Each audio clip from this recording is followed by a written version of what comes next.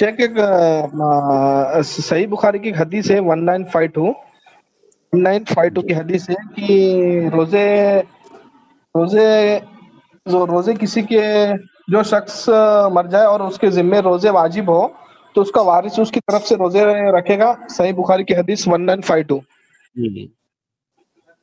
मन माथा व अलैहि सौमुन सामा अनहु वलियुहु। इस तरह के अल्फाज हैं। जी शेख तो सवाल क्या है भाई आपका? ये हदीस में शेख लिखे है कि मैयत के कजा रोज़े का हुक्म जो शख्स मर जाए और उसके जिम्मे रोज़े वाजिब हो तो उसका हम्म। वारिस उसकी तरफ़ से रोज़े रखे। हम्म। जी।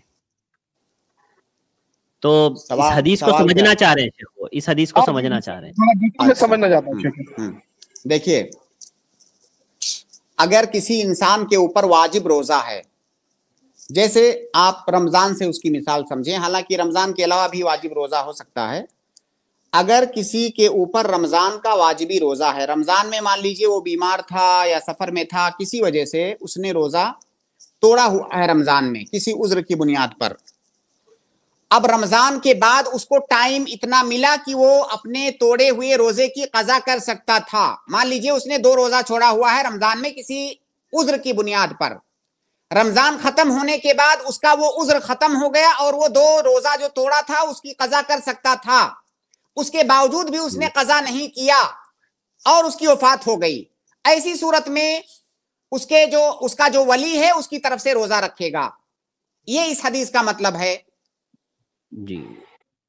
हाँ थोड़ा सा इसमें और भी सुन लीजिए। इतनी बात आपको समझ में आ गई। आ, कभी ऐसा हो सकता है कि मान लीजिए रमज़ान में कोई शख्स बीमार हो गया और उसकी बीमारी लंबी खींची। जी। यहाँ तक कि रमज़ान के बाद भी कंटिन्यू बीमार ही है। अब ज़ाहिर है वो जब कंटिन्यू बीमार है तो अभी रमज़ान में जो उसके रोज़े छूटे हैं उनकी कजा वो कैसे करेगा?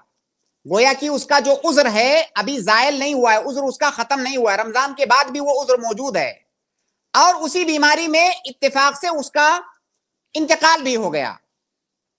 इससे पहले कि वो रोजा रखने की फुर्सत पाता उसका इंतकाल हो गया।